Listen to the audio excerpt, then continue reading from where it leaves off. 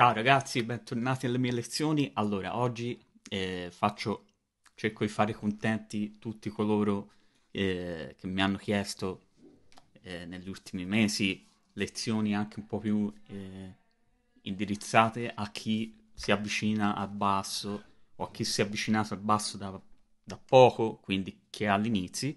Me, come ho già detto molte volte, non piace parlare di eh, principianti, non principianti diciamo solo a chi ha meno esperienza sullo strumento e voglio partire proprio dalle tecniche base, quindi farò eh, nel corso delle prossime settimane delle lezioni eh, proprio improntate su eh, appunto chi eh, sia chi si sta avvicinando appunto allo strumento, sia chi già lo suona da tempo, però vuole rivedere magari qualche concetto base.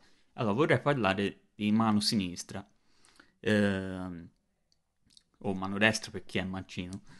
Allora, e soprattutto vorrei raccontarvi un po' quali sono stati, diciamo che le mie lezioni sono più dei racconti che, che altro, però eh, proprio per cercare di farvi evitare gli errori che ho fatto io, vi racconto quali sono stati eh, i maggiori e eh, quanto è stato difficile poi risolverli eh, dopo tanti anni che avevo preso delle cattive abitudini. Allora, la prima, eh, quando io suonavo, ehm, ad esempio utilizzavo il mignolo, quindi suonavo una nota così, le altre dita mi si allontanavano automaticamente da, dalla tastiera, quindi dalle corde. Quindi mi succedeva ad esempio questo.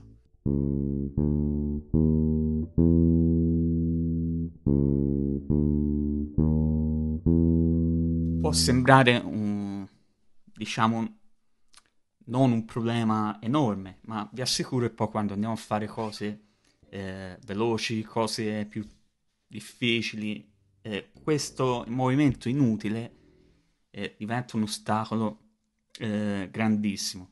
Quindi mi ritrovai dopo tanti anni a ripartire proprio con le scale cromatiche, come ho fatto adesso, oppure eh, scale maggiori, arpeggi, eh, tutto quello che si può suonare, brani, eh, sul basso, facendo particolarmente attenzione proprio a questo problema. Quindi mi misi lì, prendiamo una scala eh, di La maggiore Tanto vedete tutto scritto poi.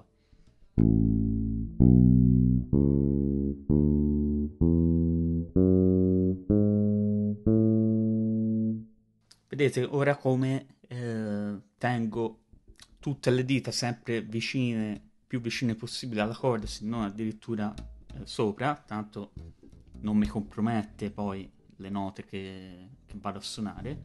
E invece prima avrei fatto probabilmente una cosa così.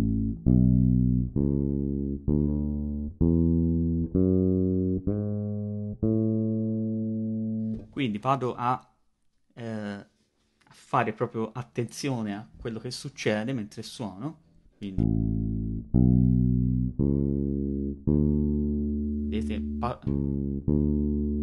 quando passo dall'indice al medio il mio indice rimane fermo sulla corda è uguale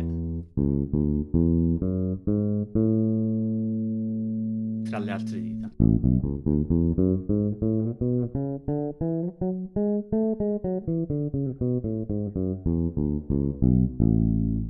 per, eh, per lavorare eh, in modo eh, ottimo su questo problema, se lo avete, eh, ovviamente, eh, oltre a, a queste scale, gli esercizi cromatici sono sempre i migliori, ovvero restiamo in La, cioè la prima nota che faccio in La, quinto, sesto, settimo, ottavo, poi cambio corda, quinto, sesto, settimo, ottavo,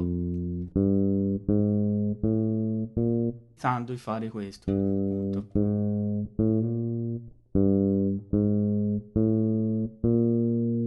Ma questo, anche molto lentamente.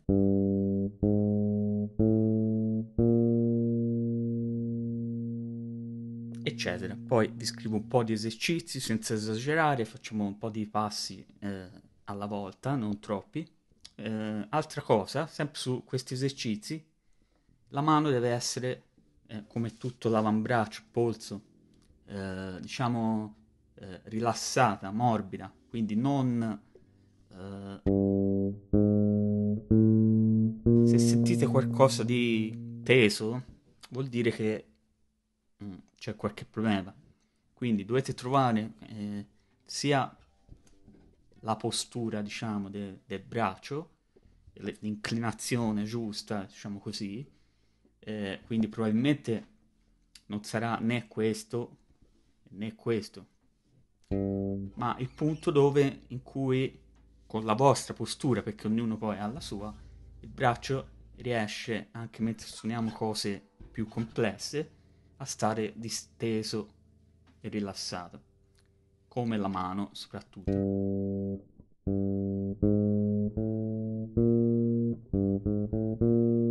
Sento che non ho nessuna, nessun tipo di tensione, vuol dire che sto suonando in modo corretto. Se invece sento che fatico, mi entra dei dolori, allora è bene mettersi lì sempre con questi esercizi e suonarli lentamente finché appunto non sentiamo che questi problemi di tensione eh, vanno via. Altro problema che avevo eh, mille anni fa, quando ero giovane, facevo questo, cioè mi spuntava a volte, spesso, il pollice, eh, diciamo, dalla tastiera, quindi chi era davanti lo, lo, vedeva.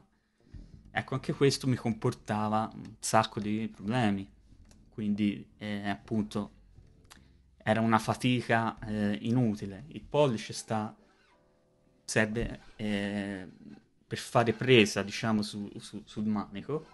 Eh, io lo tengo, diciamo, eh, a parte quando sono nelle ultime note, in corrispondenza, più o meno, senza stare a, a guardare il capello, diciamo, più o meno in corrispondenza del dito medio. Quindi parallelo al dito medio. Vediamo se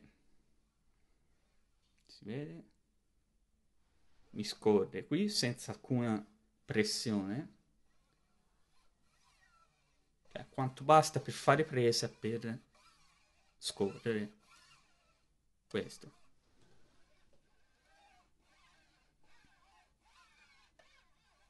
quindi non troppo ma il giusto questo quindi ovviamente questo essendo uno strumento diciamo orizzontale, verticale si parla di contrabbassi, violoncelli, eccetera. Lo strumento, il basso elettrico è orizzontale, quindi eh, il nostro movimento con eh, il braccio sinistro, con la mano sinistra, col polso sinistro sarà sempre in questo senso. Quindi eh, abituatevi, anche sembra un'assurdità, ma fare questo senza eh, sentire eh, dolori. Quindi se ci sono dolori, eh, dolorini, doloroni, tensioni, anche qui vuol dire che c'è qualcosa di sbagliato nella postura, nel, nella tecnica, appunto. Um, un'altra cosa che vi volevo consigliare è quella, sempre per la mano sinistra, oggi parlo solo di mano sinistra, poi vedremo poi altre cose e passeremo poi alla mano destra eh, suonare più possibile.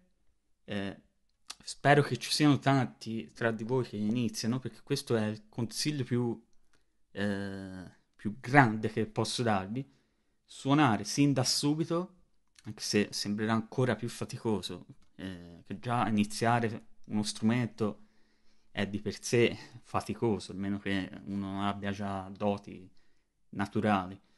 Eh, fare quello che sto per dirvi è ancora più snervante all'inizio, però farà la differenza. Ovvero suonare più vicino possibile alle barrette, ai fret, ai tasti, chiamiamoli un po' come volete, sono queste barrette di metallo. Quindi eh, rifacciamo la scala di La maggiore. Io potrei farla anche suonando nel mezzo,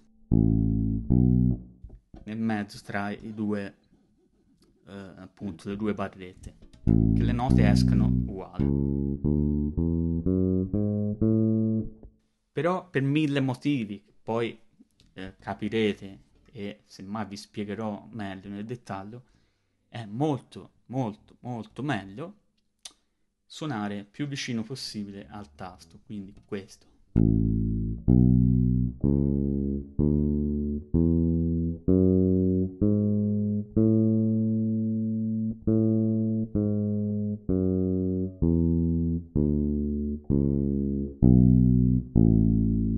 Questo per tutto, ora ho fatto una scala maggiore, ma posso fare un arpeggio.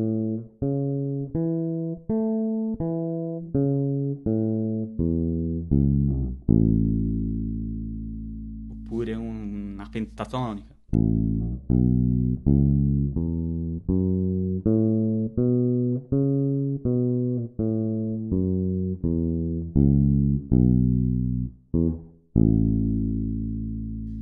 Quindi fate attenzione a questa cosa, ovviamente quando si inizia a suonare questa parte de- del manico è ancora più difficile perché i tasti sono più, più larghi, quindi si fa ancora più fatica, eh, però nulla vieta di iniziare a fare scale, arpeggi, come dicevo prima, iniziando eh, più, più in alto, diciamo, quindi più verso la mano destra, dove appunto i tasti sono eh, più, più stretti, quindi fa- farò meno fatica eh, a suonare in modo corretto, quindi vicino ai tasti, come ho detto prima.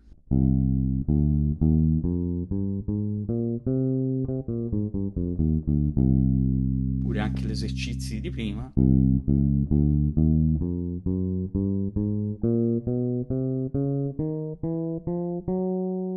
Facendo sempre attenzione, appunto, oltre alle cose che abbiamo detto prima, a suonare vicino ai tasti.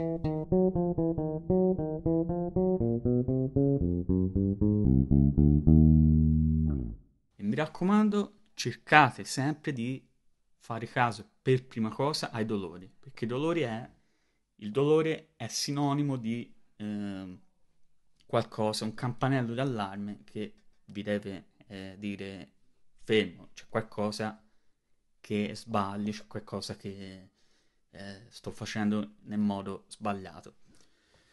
Ragazzi, allora, eh, fare lezioni eh, appunto indirizzate a chi ha da poco preso in mano uno strumento o comunque anche a chi lo suona tanto, però vuole rivedere eh, diciamo le basi, i mattoni, i primi mattoni de- dello studio, non è semplice.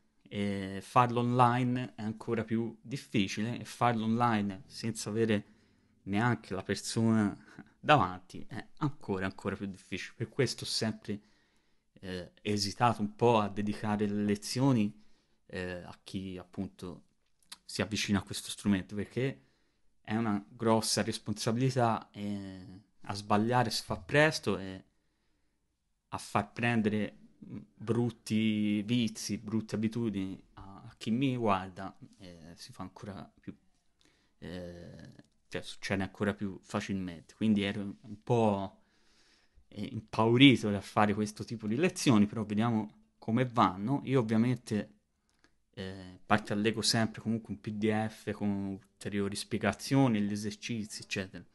Rimango anche eh, in totale eh, a totale disposizione per chiarimenti, dubbi, eh, richieste di approfondimento, eh, critiche, tutto. Scrivetemi tranquillamente e mm, se c'è qualcosa che non avete capito, che volete capire meglio, lasciatemi un commento qui sotto o ai vari link che, che trovate sotto al video. Per oggi mi fermo qui perché ho già detto un bel po' di cose sulla mano sinistra, poi eh, ci vediamo poi per altre, per altre tecniche, per altri studi su questo magnifico strumento.